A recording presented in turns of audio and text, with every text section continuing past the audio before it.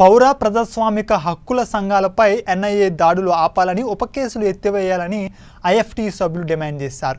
మోడీ షా ప్రభుత్వ విధానాలపై ఐక్యంగా ఉద్యమించాలని పశ్చిమ గోదావరి జిల్లా పాత బస్టాండ్ సెంటర్లో ధర్నా నిర్వహించారు. మోడీ సర్కార్ మోడీ సర్కార్ ప్రజాస్వామ్య వ్యతిరేకి మోడీ సర్కార్ రాజ్యాంగ వ్యతిరేకి మోడీ సర్కార్ ప్రజా వ్యతిరేకి రాజ్యాంగ వ్యతిరేకి మోడీ సర్కార్. రద్దు చేయాలి ఉపా చట్టాన్ని బేషరతుగా. ఉపా చట్ట హక్కులు హరించే ఉపా చట్టాన్ని. ప్రజల హక్కులు హరించే ఉపా చట్టాన్ని. ప్రజల హక్కులు హరించే ఉపా చట్టాన్ని. ప్రజలు జీవించే హక్కులు హరించే ఉపా చట్టాన్ని డౌన్, డౌన్ మోడీ సర్కార్ డౌన్, డౌన్ మోడీ సర్కార్ ఖండించండి ఎన్ఐఏ నోటీసులు ఇవ్వండి. సంఘ నాయకులకు ఎన్ఐఏ నోటీసులు ఇవ్వండి. హక్కుల సంఘ నాయకులకు ఎన్ఐఏ నోటీసులు ఇవ్వండి. పోరాటం, పోరాటం, రాజ్యాంగ హక్కుల పరిరక్షణ. రాజ్యాంగ హక్కుల పరిరక్షణ కోసం.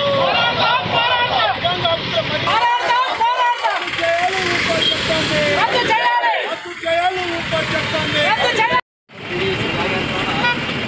నా పేరు కాకినాని టీడీఎస్ పశ్చిమ గోదావరి జిల్లా నుంచి పనిచేస్తూ ఉన్నాను.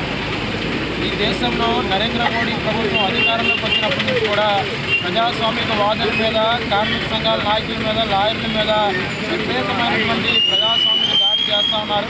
అందులో భాగంగానే ఉపా చట్టాన్ని తీసుకొచ్చి కూడా నిర్బంధాన్ని ప్రయోగిస్తూ ఉన్నారు.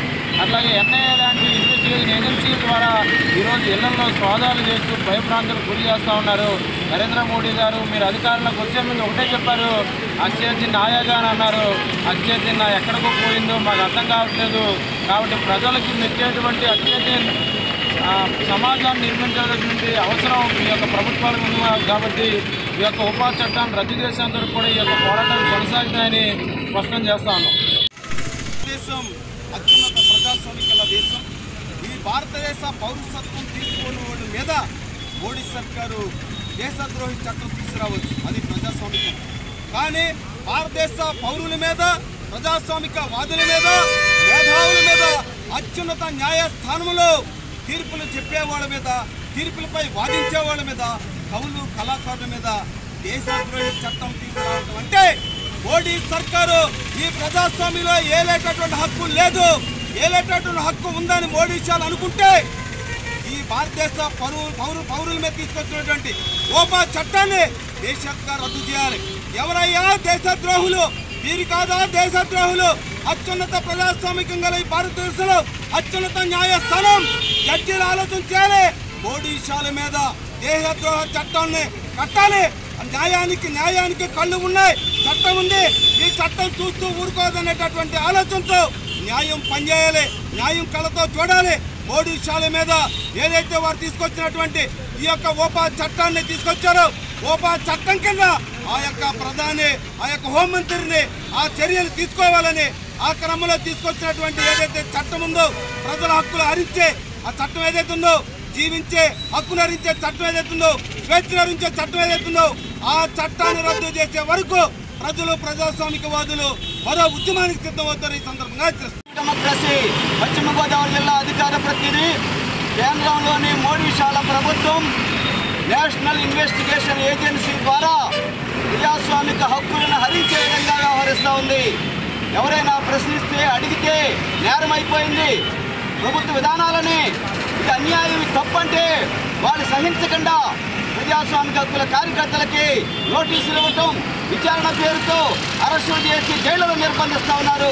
దీన్ని తీవ్రంగా ఖండిస్తూ ఈరోజు రాష్ట్ర వ్యాప్తంగా ఆందోళనకి IFTU PDSU POL Arunodaya AIKMS తదితర ప్రజా సంఘాలు పిలుపునిచ్చాయి.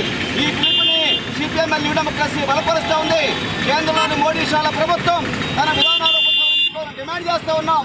అలా కాకుండా ఇదే విధానాలు కొనసాగిస్తే భవిష్యత్తులో పోటీ షాల విధానాల వ్యతిరేకంగా పెద్ద ఎత్తున పోరాడతామని స్పష్టం చేస్తూ ఉన్నాం.